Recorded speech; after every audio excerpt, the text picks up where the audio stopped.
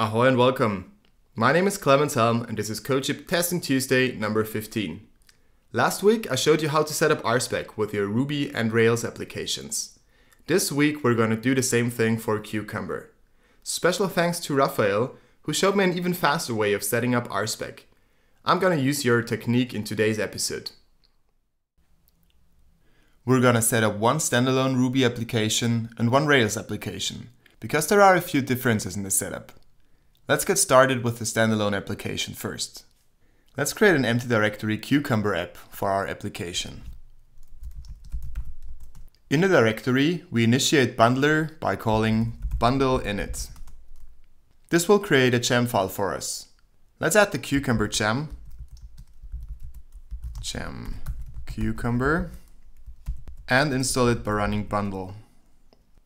When we run Cucumber now, it tells us no such file or directory features. Cucumber will look for our features in the features directory. So let's create it. Now Cucumber runs successfully without executing any features. Let's add a simple feature. We will call it warm welcome feature. I will just paste the feature in here. So in order to make my users feel comfortable on my website as the website owner, I want to greet them appropriately. And in the case of a sailor, given I am a sailor, then I want to be greeted ahoy and welcome. When we run Cucumber now, it lists the missing step definitions. Let's copy these snippets and put them in a file in folder step definitions and let's call the file sailor steps rb.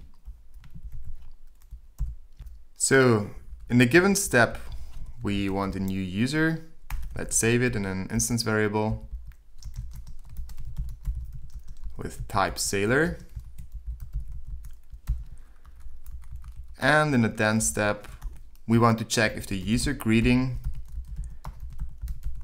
should be the greeting we're passing in. And let's name this argument greeting up there. So when we run Cucumber again now, it tells us that it doesn't know the constant user.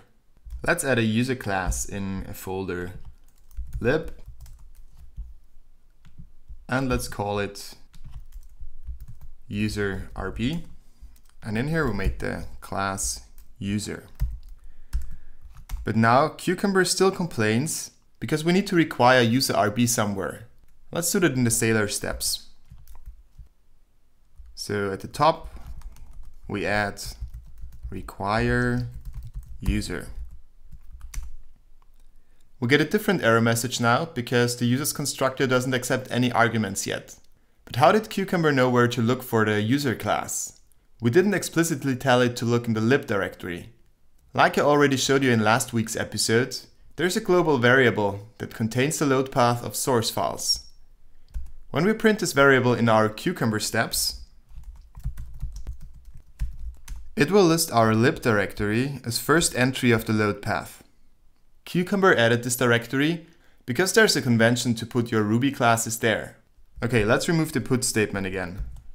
Cucumber complained about our constructor, so let's make it accept a type argument.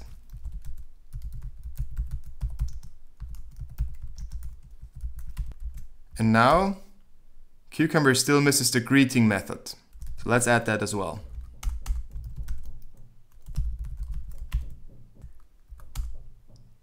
And now Cucumber complains that it doesn't know the method should. The reason is that Cucumber doesn't contain the RSpec matchers. By default, you can use Minitest, which is included in the Ruby standard library. We could rewrite our step definition as assert equal user greeting, and the other greeting. This will give us the expected result. But how can we stick with our RSpec syntax? We have to install RSpec expectations. Let's add them to our gem file.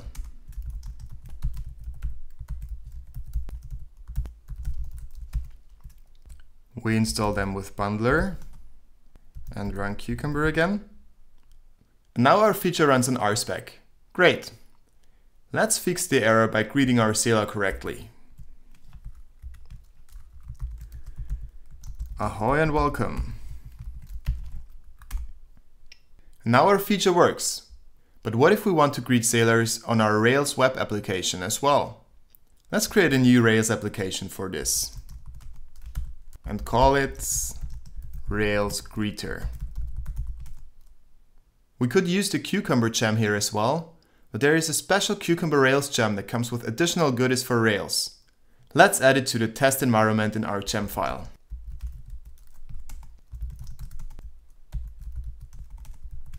We added require false, so Cucumber isn't loaded when we run other testing tools like RSpec. The Cucumber command will require the Cucumber gem anyway. It's also recommended to add the database cleaner gem to your gem file. Let's do that. Database cleaner makes sure that your database is cleaned after every scenario. Now we need to run bundle again. And everything is installed. Cucumber Rails provides us with a generator script to set up Cucumber. We only need to run rails generate cucumber install. This will do a few things. It creates a Cucumber YAML file. This defines three Cucumber profiles, default, work in progress, and rerun. You can run Cucumber with each of these profiles by passing the profile option, like this. Cucumber profile work in progress. So running this work in progress profile will run scenarios tagged with whip and complain if there are more than three of them. You can customize the options for these profiles or add your own profiles in this file. The installer also created a Cucumber script. In Rails 4 this actually belongs in the bin directory, so let's move the file and delete the script directory.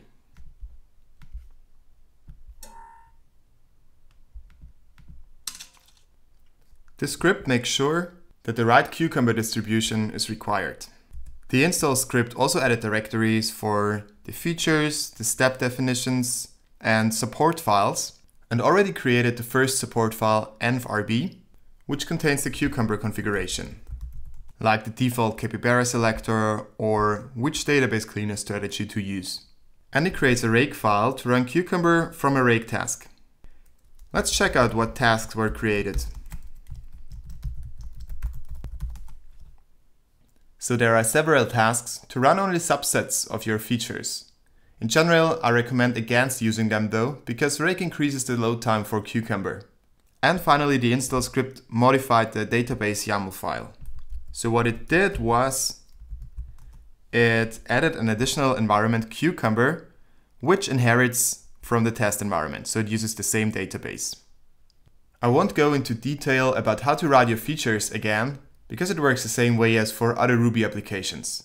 So the main advantage of the Cucumber Rails gem is that it hooks directly into your Rails application by creating everything that's necessary with the installation script.